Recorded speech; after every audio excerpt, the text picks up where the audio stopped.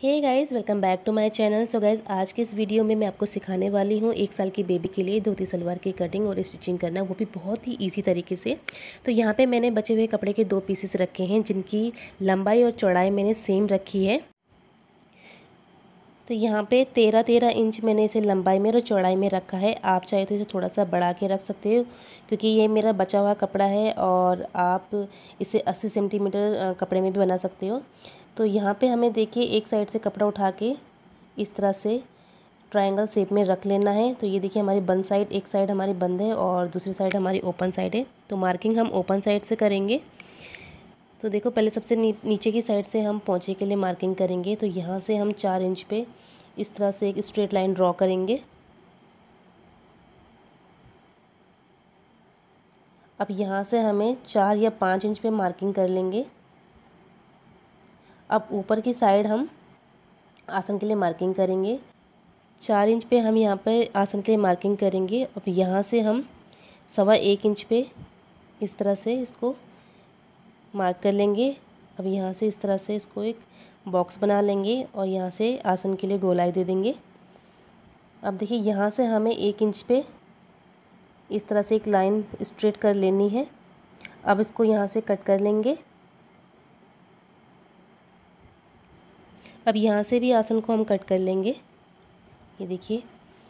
अब नीचे से हमें इस मार्किंग से हल्का सा आधा इंच पे कट यहाँ पे लगा लेंगे। अब इसकी कटिंग हमने कर ली है, हम बेल्ट की कटिंग करेंगे। तो यहाँ पे मैंने नाप के अकॉर्डिंग बेल्ट कट कट करके रखी है, जिसकी यहाँ पे मैंने चौड़ाई चौड़ाई में रखी है। छः इंच मैंने यहाँ पे इसकी चौड़ाई रखी है। तो देखिए, यहाँ पे दोनों पार्ट की हमारी कटिंग होगी है। तो हम देखिए पार्टों को किस तरह इसको अटैच करेंगे? ये देखिए, इस तरह से हमारे कुछ इस तरह से पार्ट हमारे अटैच होंगे। तो यहाँ पे हमारी कटिंग कंप्लीट हो चुकी है तो अब हम इसकी स्टिचिंग करना शुरू करेंगे। तो सबसे पहले हम देखिए, दोनों पार्ट इस तरह से लेंगे और एक साइड का आसन को हम जोड़ेंगे। तो इस तरह से हम एक साइड आसन पे सिलाई लगा लेंगे। देखिए इस तरह से आसन को सिल लेंगे। तो यहाँ पे मैंने सिलाई लगा ली है। अब दोनों साइड जो हमने कट लगाए थे एक एक इंच के इसको भी हम आ, सिलाई लगा लेंगे दोनों पे। इस तरह से एक स्ट्रेट सिलाई हम लगा लेंगे दोनों साइड।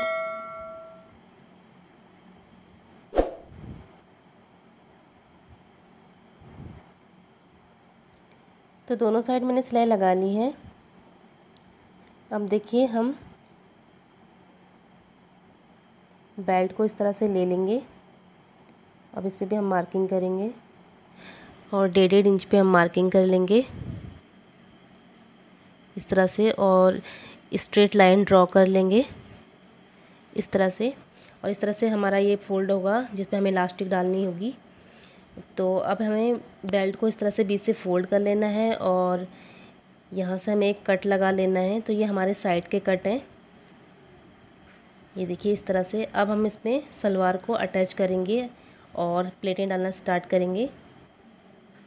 ये देखिए, दोनों किनारे को हम इस तरह से अटैच करेंगे और यहाँ से हम स्टार्टिंग से प्लेटें डालना स्टार्ट करेंगे। तो पहले जो प्लेट हमारी डलेगी, ये देखिए, यहाँ इस कट तक हमें एक साइड प्लेटें डालनी हैं। तो पहले प्लेट हम अपने मशीन की साइड इस तरह से रखेंगे।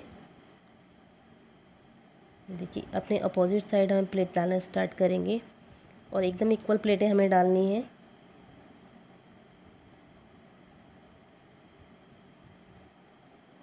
देखिए, कुछ इस तरह से।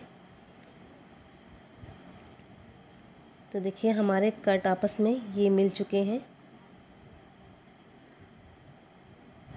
ये देखिए, दोनों कट्स हमारे मिलेंगे अब हम अपनी अपनी साइड हम प्लेटें डालना स्टार्ट करेंगे यहाँ से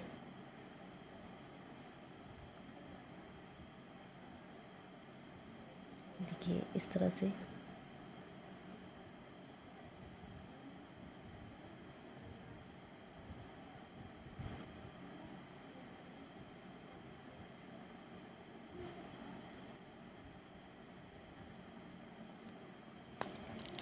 तो देखिए हमने बैक वाले आसन तक प्लेटें डाल ली है ये देखिए।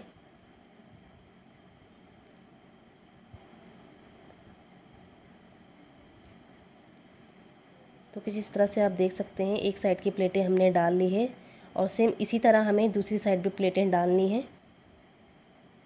ये देखिए, दोनों साइड मैंने प्लेटें डाल ली है। अब हम दूसरी साइड का भी आसन जोड़ लेंगे।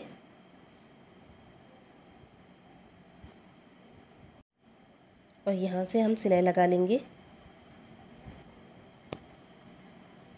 तो देखिए, आसन मैंने दोनों साइड जोड़ लिए हैं। अब नीचे की साइड हम पोंचा तैयार करेंगे। तो जो कट हमने यहाँ पे लगाए थे, यहाँ से हम कपड़े को इस तरह से फोल्ड करेंगे।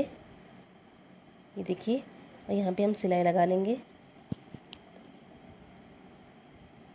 अब दूसरी साइड पे हमें कपड़े को फोल्ड कर लेना है।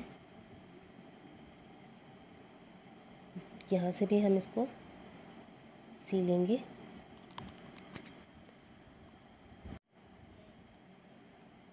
तो यहाँ पे मैंने दोनों साइड सिलाई लगा ली है। अब इसी तरह हमें दूसरे वाले पोंचे पे भी सिलाई लगा लेनी है। तो दोनों पोंचे मैंने यहाँ पे तैयार कर लिए हैं।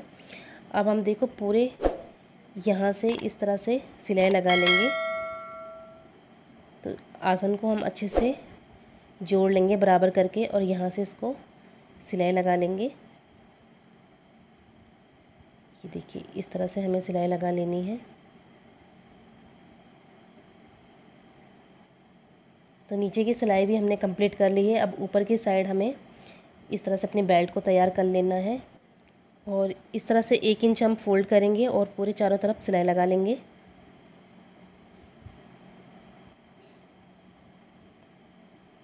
ये देखिए इस तरह से।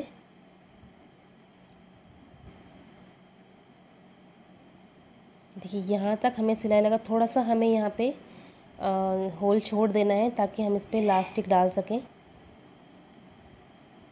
तो देखिए लास्टिक भी मैंने यहाँ पे डाल ली है और धोती सलवार हमारा बनके एकदम तैयार है और आप देख सकते हो कितनी फिनिशिंग के साथ हमारा बनके तैयार हुआ है। बहुत ही सुंदर धोती सलवार हमारा बनके तैयार हुआ है और मैं उम्मीद करती हूँ गाइस आपको ये वीडियो पसंद आई होगी। तो वीडियो को जल्दी से लाइक शेयर करें और सब्सक्राइब करें। धन्यवाद।